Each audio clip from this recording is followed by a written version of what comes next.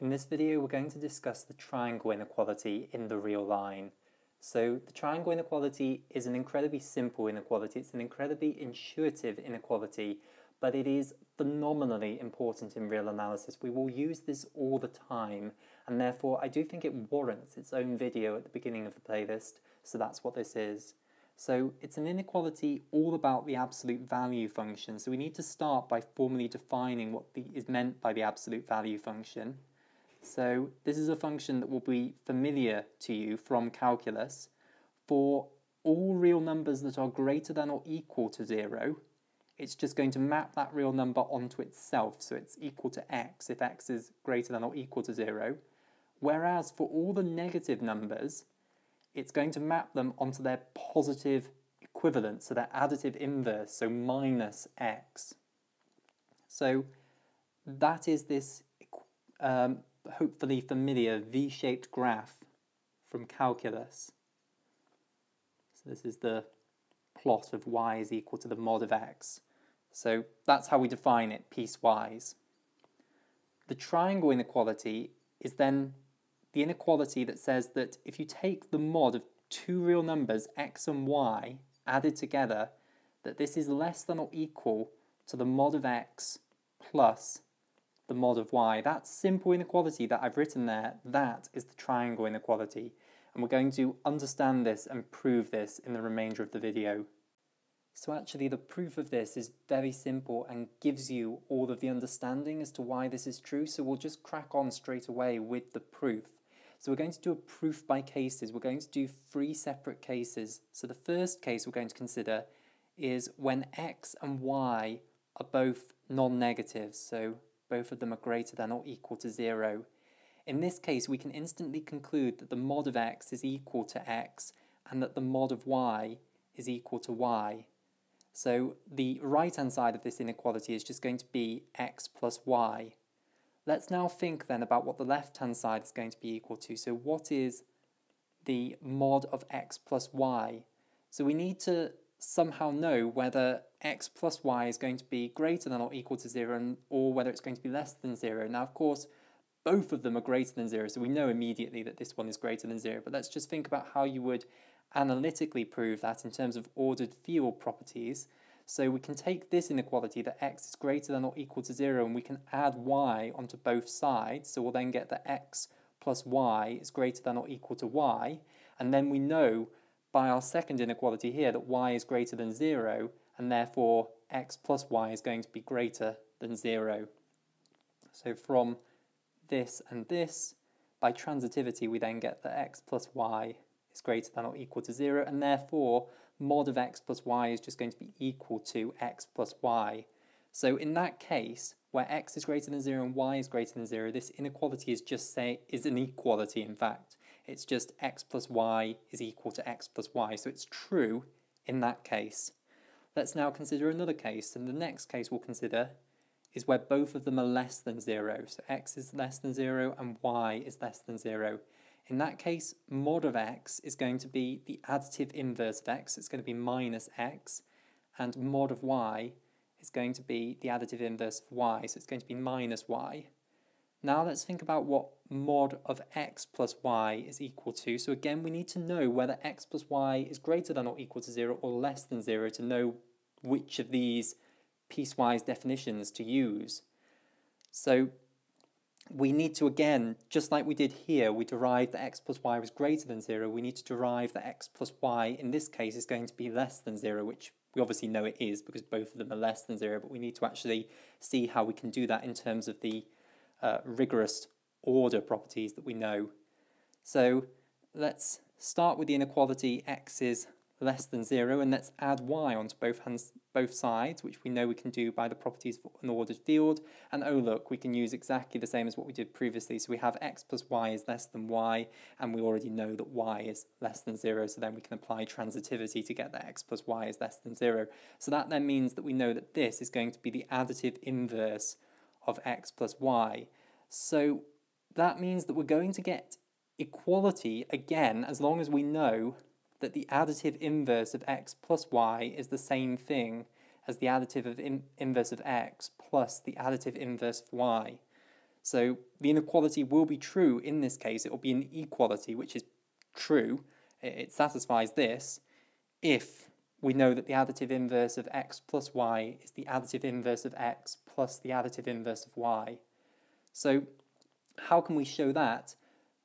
Well, we want to show that this thing is the additive inverse of x plus y. So if we can show that that added to x plus y, so if we add this thing to x plus y, if we can show that that's equal to 0, so question mark whether it's equal to 0. If we can show that it's equal to 0, then we'll have our answer. We'll know that this is the additive inverse of x plus y. And then because, you know, our field, as far as addition is concerned, it's a group.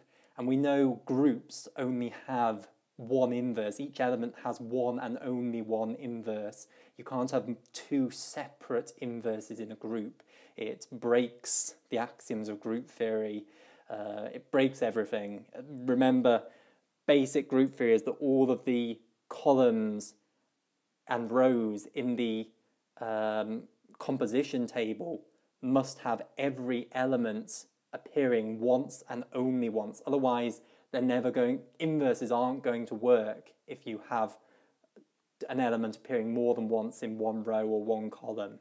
So, and that's a basic fact of group theory. We won't get into it in too much detail, but if we can show that this thing is the additive inverse of this, i.e. that this plus this is equal to zero, then we'll have done that.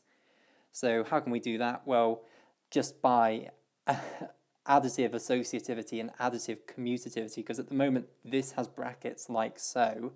So then what we can do is apply associativity here. So we can say that we can rearrange the brackets so that they're like that the rule we're applying here is a plus b plus c is the same as a plus b plus c. That's additive associativity. And here we're considering this thing to be a, and then we're considering this to be b and this thing to be c, and then we've regrouped it like so. Then this is becoming painful. I'll do just a little bit more of this, but we can do commutativity. We can rewrite this then as minus x plus x plus y, like so. Then, whoops, missed a bit there. Let me rub that out. Should have a minus sign there. Um, and then we can apply associativity again to group these two together, the negative x with the x like this. And this is why we usually just assume everyone knows and understands additive associativity and commutativity, but we'll do just a bit of it. I'm actually enjoying it. Negative x plus x is then going to be 0, 0 plus y, because by definition, negative x was the additive inverse of x. So they make the additive identity 0. The additive identity plus any element is just itself, so this becomes y plus negative y, which is then, of course, just 0. Well done, me. So that's all the additive associativity and commutativity that gives us that. So yes, we do have that minus x plus y is equal to minus x plus minus y. Of course, we could have just used distributivity. We could have used the fact that the additive inverse of an element is just minus 1 times that element, and then we could have viewed this as minus 1 times x plus y, and then applied distributivity, but we did it this way instead. Um, so there, we for this case, we have again shown that this inequality is true because you do have actual equality. So if they're both negative, the intuitive picture of what we've done here, if we just draw a bit of the real line, is that first case was both of them were positive. So we have our x here, let's say, and then we've added on y, and again, y is positive, so it's like an arrow in the right-hand direction. So then you add on, and you get x plus y. And then this absolute value function is then kind of like the distance from 0 to there. And it's just going to be the distance from 0 to x, and then how much you've added on, which is the distance to y. So that's why you've got equality there.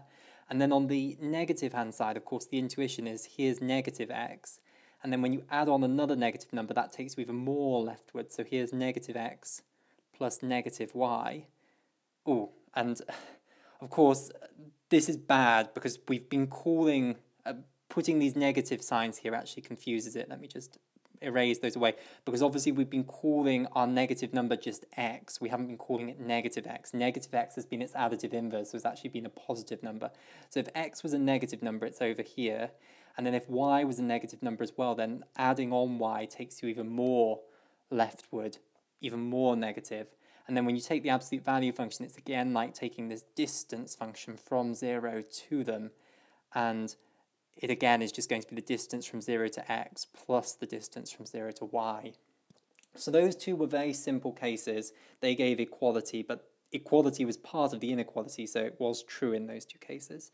Now we'll do the final, more complicated case. So the final case is one is positive and one is negative. So we'll let x be greater than or equal to 0 and we'll let y be less than 0. We don't need to do the other way round. If we do it for one of them, then by symmetry for the other case where this one is negative and this one is the non-negative one, the exact same argument is going to hold true, so we just have to do one of them. And this, of course, is the more interesting one, the one which really the triangle inequality is all about. So on the picture, if you've got 0 and you've got x here, and then you've got y here, then when you add y onto x, it actually takes you back to kind of here. So you'd have x plus y, and then you can see that the distance from uh, 0 to x plus y is then actually not equal to the distance from 0 to x plus the distance from 0 to y. It's actually less than that. So in this case, you actually are going to get that less than part of this inequality. So it only the equality is only broken when you're adding two numbers that don't have the same sign. One's positive and one's negative. So let's prove then that the inequality holds true. So if x is greater than or equal to 0, we can instantly say that mod of x is equal to x in this case. And if y is less than or equal to 0, then mod of y is going to be equal to negative y. Now let's think about what mod of x plus y is equal to. Well, this is where we actually have to split it into another two cases because depending on how far y is along, you know, in this picture, y is not that far from 0. So when you add it on to x, x is actually further along in this uh, right direction than y is in this left direction. So x is more positive than y is negative. So when you add them together, you still end up with a positive number. However, if y had been all the way out here, then when you'd added it to x, you would have then ended up with a negative number. So we're going to split it into those two cases. So we'll split it into case 1, where x plus y is still greater than or equal to 0. So this will be case 1. And then we'll have case 2, where x plus y is going to be less than 0, and we'll show that for both cases, uh, the triangle inequality is still going to hold true. So let's start with case 1. So if case 1 is true, then mod of x plus y is just equal to x plus y. So if this inequality is true, we need to show, and this is to show, so I'll put a question mark there, that this is less than or equal to x plus minus y, which is what mod of x plus mod of y is equal to. So if we can show this, then we'll have shown that for case 1 the triangle inequality holds true. So how are we going to do this? Well, we can sort of work backwards, do a backwards proof, see what we're aiming to get to. So we have x on both sides here, so we could add the additive inverse of x onto both sides to get rid of those, and then we just need to show, therefore, that y is less than or equal to negative y. So that's going to be reasonably easy. So we know that y is less than 0, so negative y is going to be greater than 0. How can you show that? Well, you just, basic ordered field manipulation, just add on the additive inverse of y onto both hand sides. So we have this inequality. If we add on the additive inverse of negative uh, of y onto both sides we'll then have 0 plus minus y, which of course these two things cancel to give the additive identity, and then you'll just have 0 plus this is just this back again, and that's how you can know that the additive inverse of y is going to be greater than 0. So then we have both of these inequalities, y is less than 0 and negative y is greater than 0, so we can apply transitivity to that, and we'll have that y is less than negative y. And now we can add on uh, x to both sides, and we'll then have x plus y is less than x plus negative y. And then we can just turn it into less than or equal to because that's fine. That it's still true. Uh, you know, this does imply this, so it's not true that it's biconditional, but you do have unidirectional implication there. If this is true, this is true. Uh, so therefore we have the inequality we wanted to show. So case one, yes, it's absolutely fine. The triangle inequality holds true. Let's do case number two now. So case number two, mod of x plus y is then going to be negative of mod of x plus y. And we need to show that this is, again, less than or equal to x plus minus y. Um, we can then split this thing into minus x plus minus y, as we've already discussed, is less than or equal to x plus minus y. This is what we're trying to show. We're just getting ideas for how we're going to prove this by manipulating it like this. And then, of course, we can get rid of this from both hand sides. So we just need to show that negative x is less than or equal to x, and then we'll have this. Well, again, that's going to hold true by a similar argument to what we've had before. So we've got the inequality that x is greater than or equal to 0. So by the same argument as we've had before, negative x is going to be less than or equal to 0. Just add negative x onto both sides and you'll get 0 on this side and negative x on this side. So there's that inequality.